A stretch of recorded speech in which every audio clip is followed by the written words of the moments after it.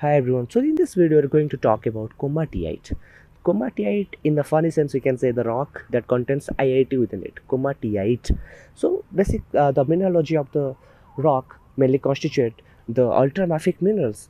Those are mantle derived, mainly olivine and pyroxenes. And the most diagnostic feature you will see the spinifex texture the randomly oriented olivine and pyroxene crystals within this rock unit causes this kind of uh, orientations. Like you can see this is very random and this uh, sharp sharp straight lines. This is the spinifex texture.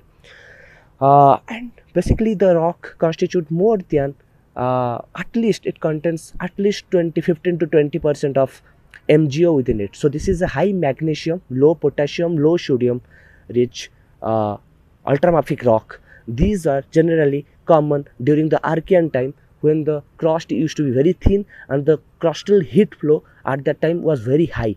So this is a very interesting komatiite rock and uh, have a view. Thank you.